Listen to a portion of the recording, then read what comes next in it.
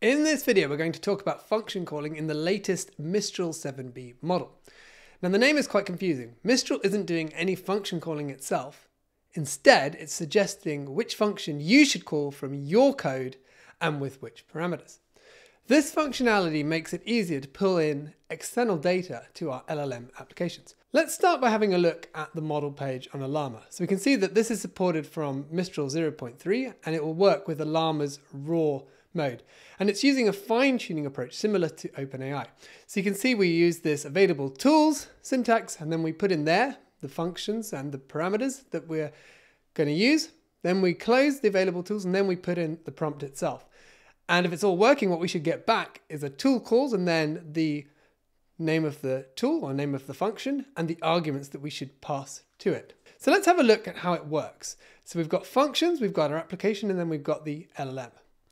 So the app application is going to send a prompt with that tool syntax and the question to the LLM. It's then going to send back kind of another prompt that contains the function name and the parameter values. That's the first bit. Then we need to take the parameter values and call the function ourselves and get back the results. That's the second bit. And then finally, we can create a new prompt with the question and those responses kind of inside the prompt, send to the LLM and get the answer to the prompt. So there are three clear steps. Extract the function calls, call the functions, and then answer the prompt. So let's have a look at how we do this in code. So you need to make sure you've got Ollama running. If you're running on a Mac, it'll be running in the background. If you want to do it manually, Ollama serve we'll do that. Then we're going to launch our IPython REPL. We're going to import some modules, including Ollama, and then I've got a module called functions that has some functions that we're going to use. We're going to create a dictionary called available functions, and we're going to put in there the name of our get current weather function, and then we'll put it pointer to the function itself.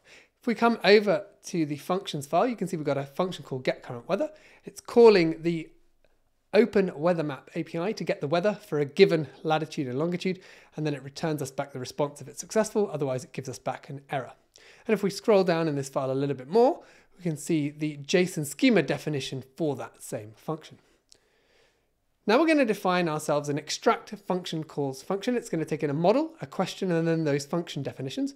We'll start by defining our prompts. So remember, we've got to use the available tool syntax. Inside there, we then put our function definitions, and then we've got the question that we're going to ask just underneath.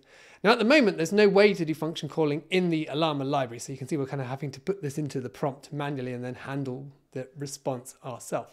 So the next bit is we then call Ollama generate. We pass in the model, the prompt, and then raw equals true. So that's important. We need that bit in there. Okay, then when we get the response, we're going to call JSON load S on the response, stripping out the tool calls bit. And that should then give us, as a dictionary, the, the response that we got back from the LLM. And then the, this function is going to return the raw response, the function calls if we found any, if not an error, and then the amount of time that it took.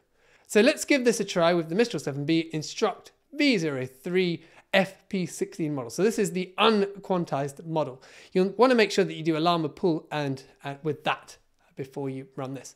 And then we're going to define a question. So what is the weather like today in New York? And then we're going to call our extract function calls method.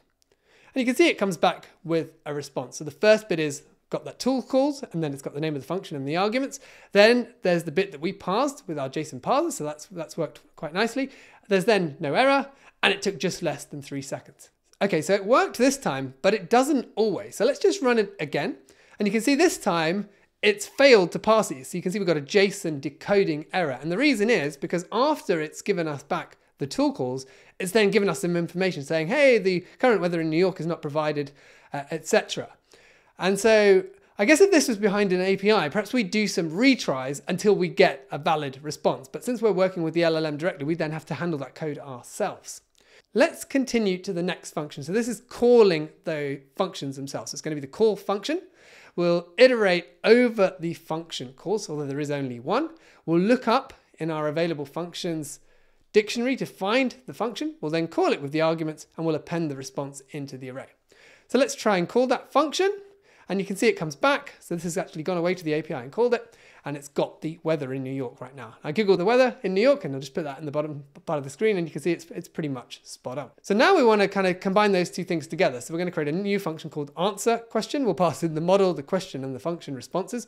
We're going to call Ollama generate. Again, this time we're going to stream the response. We're going to say in our prompt using the following function responses and we'll put those in there answered this question and it's the original question. And then we'll iterate over the stream and print it out. And you can see it comes back, the weather in today in New York is this. It does then put the latitude and the longitude in and it's just probably unnecessary. Maybe it could have just focused on the temperature, but it's all worked pretty well.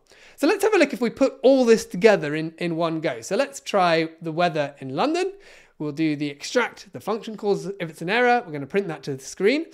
Otherwise, we're going to call the weather API, we'll get that response, and then we're going to answer the question and then we'll print out how long it took.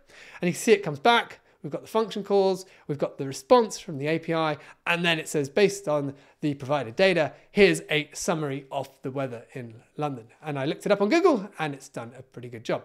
So for comparison, check out this video here where we learn how OpenAI's function calling works.